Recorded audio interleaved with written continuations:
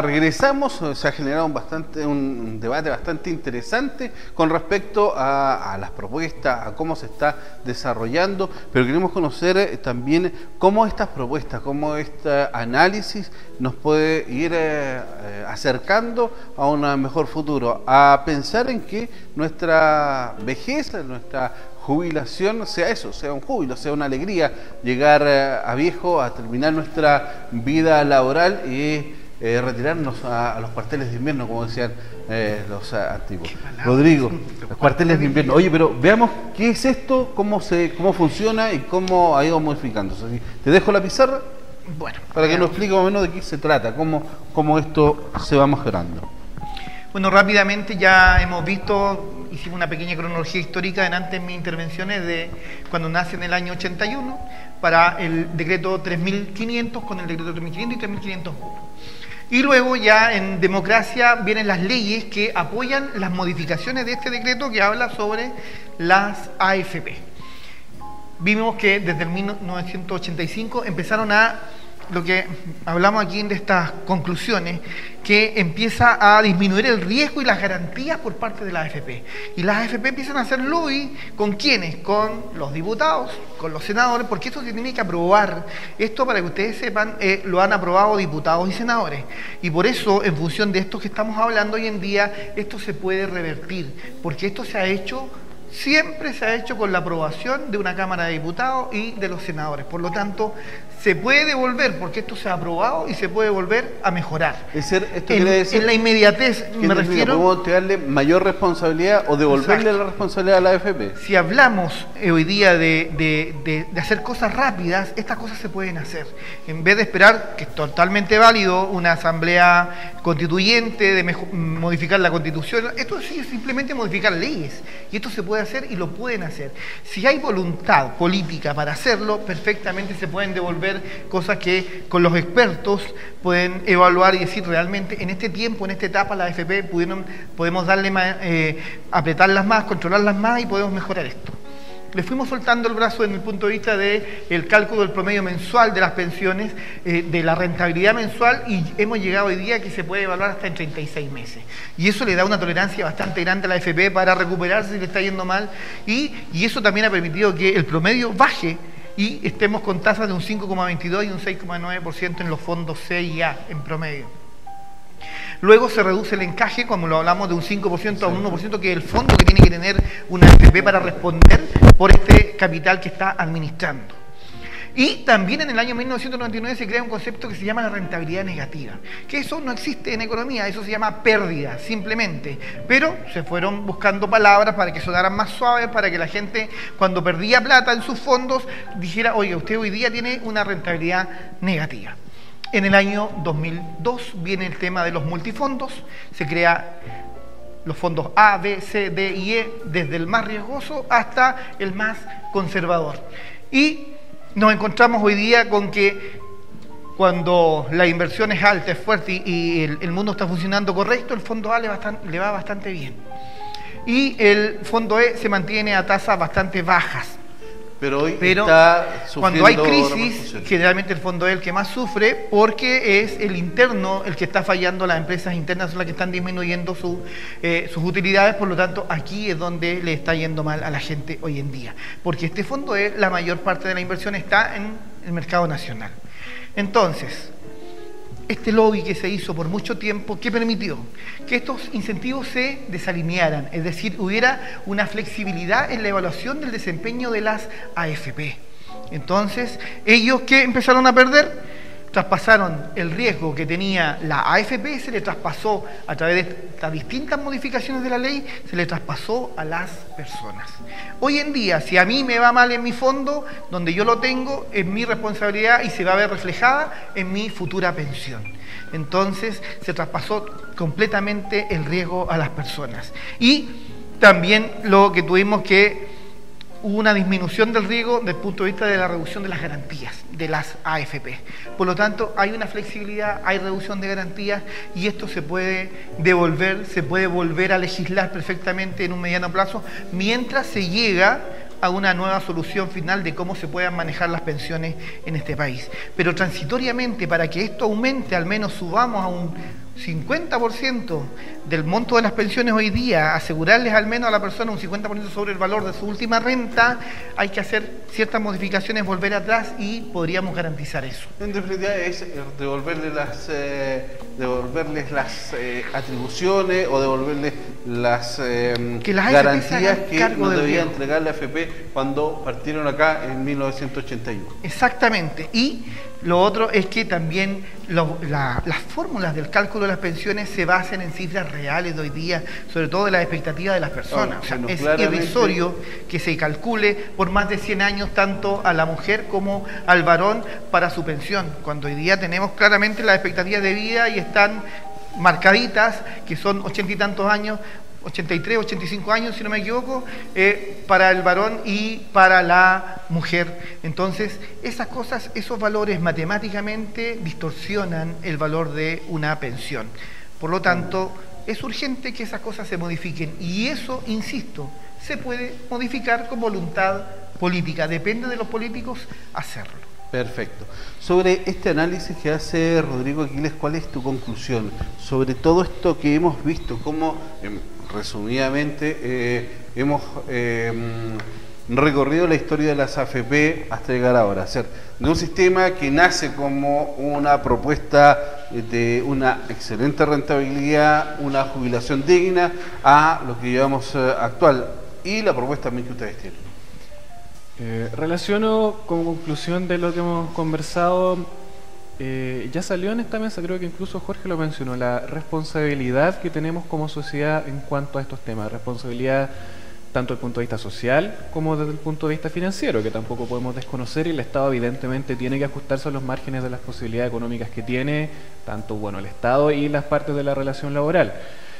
Eh, consideramos que actualmente el sistema de AFP está siendo irresponsable en los dos puntos, es decir, socialmente no está pagando buenas pensiones y financieramente también se está volviendo cada día en un dolor de cabeza más grande para el Estado. Hemos visto que al parecer ahora en este momento se está discutiendo en la Comisión de Trabajo cuánto le vamos a inyectar de nuevo a este modelo para hacerlo seguir pudiendo subsistir, eh, a regañadientes, pero subsistiendo. Eh, mientras que, por otro lado, surge esta propuesta de la coordinadora, o incluso hay otras propuestas también que eh, compartimos en, mayor o menor medida, que señalan que es posible cambiarlo.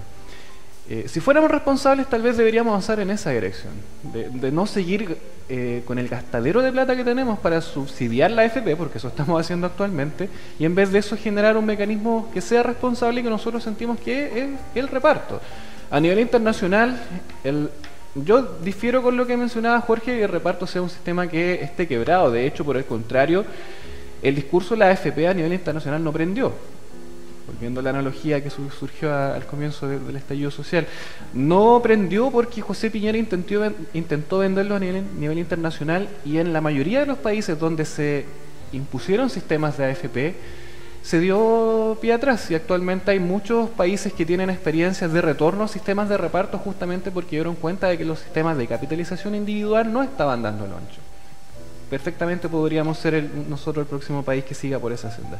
Y por último, como para eh, cerrar con las conclusiones, también en cuanto a la responsabilidad financiera que debemos tener en esta materia, a propósito del discurso de las pymes y las empresas en general, les llamo a hacer el siguiente ejercicio. Actualmente, una persona para su jubilación, específicamente en, pensiones a la AFP, hay varios sistemas de, seguridad social, eh, en general, en cuanto al sistema trabajador y empleador, que en el fondo es costo directo para, el, la empresa, sin perjuicio que lo produce el, mismo trabajador, es de en base 10%, que se va directamente a la AFP. Administración, en promedio 1,5%, que eso se va directamente al bolsillo de la AFP. Otro 1,5%, 1,53% eh, que es el seguro de invalidez y sobrevivencia. Eso actualmente se paga por, este concepto eh, en cuanto a previsión. El gobierno, como menciona Jorge, ya está abierto a la posibilidad de que se otorgue un 5% por el empleador, lo que nos da un 18%. Exacto. ¿Qué es lo que estamos proponiendo nosotros? Un 18% entre las dos partes. Lo que nos hace concluir que ya no es un problema económico, esto es simplemente un problema político, porque existe la posibilidad, el gobierno lo está señalando, eh, en la reunión que se tuvo con Unidad Social con el, eh, ministro Blumel también, al parecer hubo eh, esbozos de que se están abriendo a conversar acerca de un eventual sistema de reparto, por lo que nosotros creemos que es posible avanzar en ese sistema.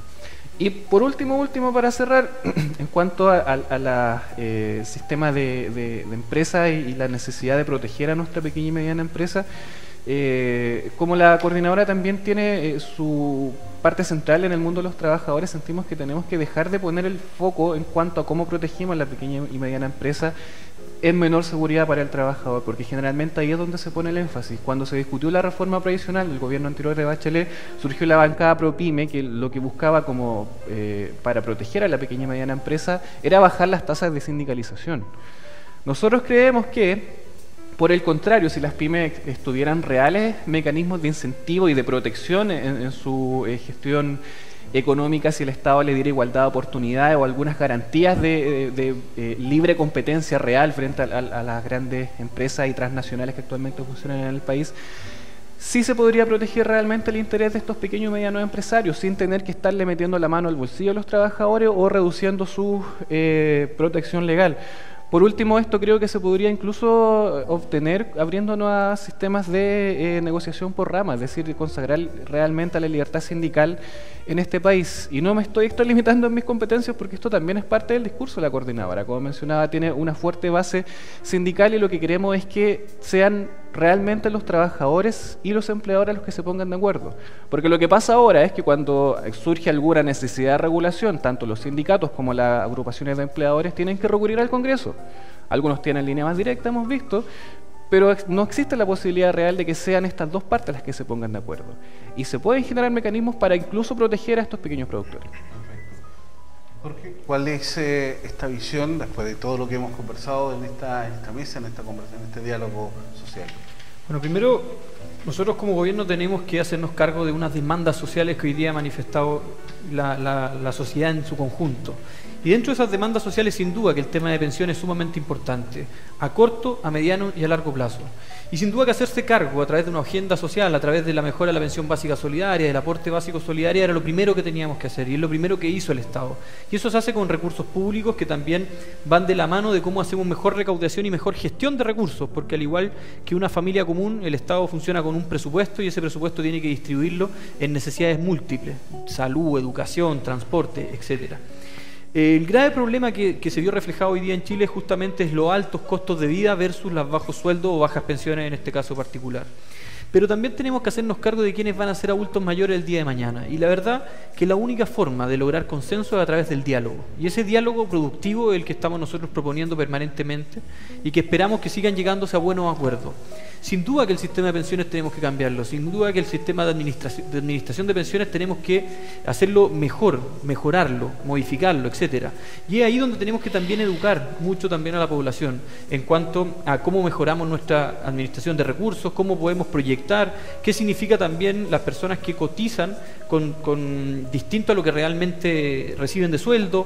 Por tanto, ahí hay, un alto punto de responsabilidad. Hoy día el gobierno se está haciendo cargo de esto a través de esta generación de cinco puntos extra en la, en la cotización que van a hacer los, los trabajadores activos.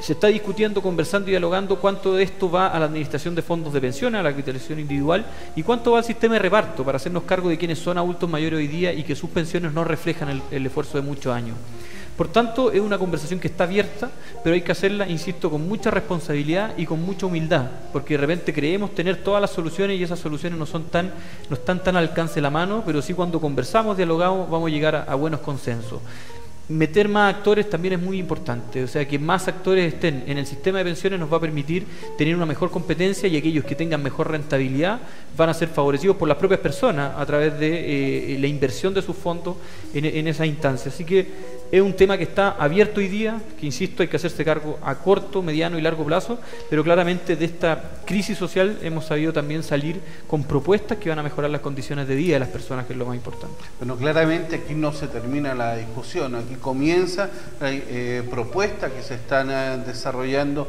propuestas que nacen desde las coordinadoras, desde el movimiento, desde la academia, mejorar el sistema, devolver eh, lo que es la responsabilidad de la AFP, que fueron atribuciones que se entregaron por el Congreso. Bueno, son distintas posiciones. La idea es que ustedes en sus casas también eh, pudieron haber estado un poco más claro de qué es lo que se está viviendo, cómo es que eh, este movimiento social, que ya lleva más de 45 días, más de 46 días, eh, desarrollándose en todo el territorio, también ha puesto en la mesa, en la discusión, temas tan importantes como la jubilación, como salud, como es educación y otros tantos temas que esperemos que podemos estar conversando de ellos y cada uno de ellos acá en la última palabra. Así que los dejo para que se despidan también a sus cámaras y también conversen con la, con la comunidad. Bueno, eh, en primer lugar agradecer la invitación desde esta mirada un poco más, eh, más tácita, uno desde, como lo dice, desde la academia, pero como chileno igual como, como persona. Eh, el llamado es que en nuestro país se hagan reformas significativas. ¿sí?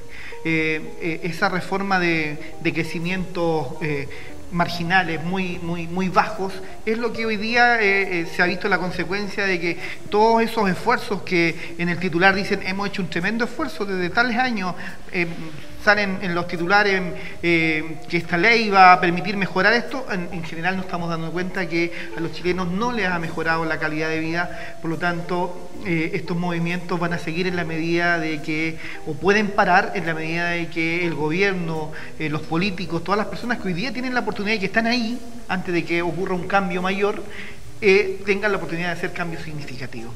Por lo tanto, es un llamado, es una oportunidad y que las personas también se informen. Es fundamental que los chilenos conozcamos muy bien cómo son nuestros sistemas de previsión, eh, eh, cuál es el, tema de los impuestos. La ecuación aquí es bastante grande, es transversal, es impuestos, el aporte del Estado, los privados, las pymes, todos cumplimos un rol en, esta ecuación de, la economía familiar. Por lo tanto, ese es mi llamado, que ojalá se puedan hacer cambios significativos y que permitan realmente mejorar la calidad de vida de todos los chilenos. Aquiles. Eh, voy a ser breve porque ya hablé bastante. Eh, solo dos puntos como para cerrar. Recordarle a toda la comunidad que está observando este programa que la coordinadora Noma FP en sus distintos territoriales, tanto en Talca, Curicó, Linares, Cauquienes, en todos los lugares donde funcionamos. Estamos permanentemente disponibles a asistir a todos los lugares donde nos quieran invitar, precisamente para conversar de este y otros temas, tema constitucional también podríamos dialogar con la comunidad. Y a propósito del surgimiento de varias instancias de conversación, como Cabildo de Asambleas Territoriales, esperamos estar siempre que nos inviten, así que no duden en contactarnos por nuestras redes, directamente a nosotros si nos ven por la calle, porque siempre vamos a estar en las movilizaciones, así que no duden en contactarnos. Y por último también, eh, algo sí comparto con Jorge, de que a pesar de la crisis que se ha gestado, sí también surge la oportunidad de generar cambio en este país, pero para entrar a esa conversación es necesario que se detenga la represión y que realmente haya justicia, porque sin justicia no puede haber paz. Bueno, yo parto por discrepar justamente de, de, sin justicia no puede haber paz. Yo creo que la paz es un derecho, por tanto la violencia primero hay que descartarla como cualquier método para obtener un resultado. Sí, hay que hacerse cargo de todos los hechos de violencia que han ocurrido en Chile y por tanto eh, la violencia de cualquiera de los lados debe ser debidamente sancionada. Si existen personas que quemaron, saquearon o robaron, no puede haber impunidad. Y del mismo modo, si hay eh, personas, agentes del Estado que hayan afectado derechos humanos de otras personas, también deben ser debidamente sancionadas. Pero eso no se condiciona a la paz. La paz siempre debe ser un derecho de las personas. En segundo término, y aquí voy a discrepar con Rodrigo, yo soy de los que cree que Chile en sus últimos 30 años sí ha avanzado, la calidad de vida de las personas sí ha mejorado, pero sin duda también tenemos que hacernos cargo de pasar una barrera, de hacernos cargo también del sentir de las personas, cómo mejoramos hoy día las pensiones, cómo mejoramos el transporte público, cómo mejoramos la salud, cómo le damos mejor calidad a la educación de las personas. Yo soy de los que cree también que de las crisis surgen oportunidades. Y si queremos dar ese paso a ser un país desarrollado, justamente teníamos que conversar, dialogar y poner sobre la mesa agendas sociales tan importantes como la que hoy día tiene que liderar el gobierno y quizás después la va a liderar otro gobierno, puede ser del mismo sector o de otro sector. El presidente ha propuesto a una crisis de la democracia, fortalecerla con más democracia. Y la democracia consiste en que todos tenemos el mismo derecho y por tanto todos tenemos el derecho a votar y a elegir quién nos representa el día de mañana. Y así va a ser en un proceso constituyente que se va a iniciar y también va a ser en los procesos legislativos que vamos a, ver. Pero tenemos que respetar y creer en nuestras instituciones. Las instituciones funcionan y las instituciones le hacen un bien al país. Esperemos, y así yo creo que va a ser, que de esta crisis vamos a surgir un, mejor país y un, mejor un país que va a tener menos desigualdades, más justicia y más dignidad, que es lo que nos está reclamando hoy día la sociedad. Bueno, gracias Jorge. Nosotros eh, dejamos aquí ya la discusión en torno a, mm, lo que hemos referido durante este programa, la- las pensiones, el sistema de AFP. Tema que claramente da mucho que hablar y esperemos volver eh, a tocarlo acá en la última palabra. Será hasta una próxima oportunidad. Muy buenas noches.